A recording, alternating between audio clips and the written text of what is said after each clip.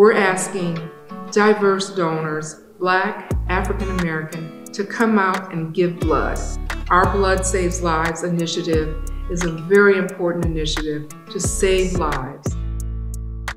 The NPHC chose to make sickle cell an initiative uh, because it was a no-brainer for us. You know, all of our organizations are doing healthcare uh, initiatives, and just about all of them deal with sickle cell because it affects our people.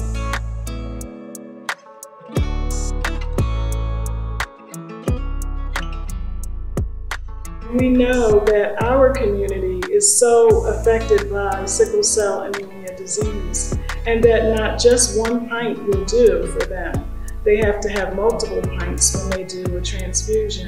And so understanding and be, being communicated with that information, we hope that our Greek brothers and sisters all over the country will go out and give blood and give often.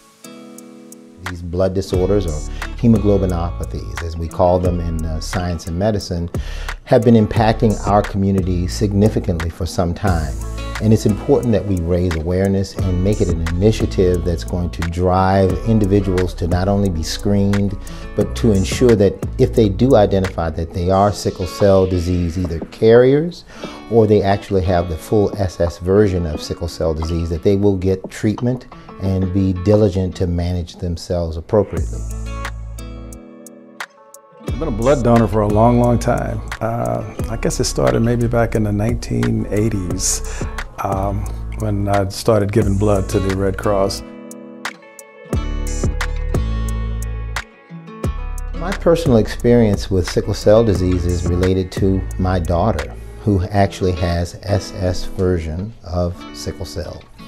And she has been my inspiration. We need as many of all of us to come together to help us with our activation of Joined by Blood as we continue to spread the word that diverse donors can help save a life, a sickle cell patient in need. Thank you.